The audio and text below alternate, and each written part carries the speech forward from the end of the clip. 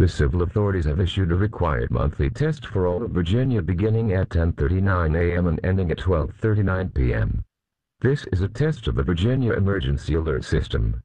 In the event of an emergency, this system would bring you important information.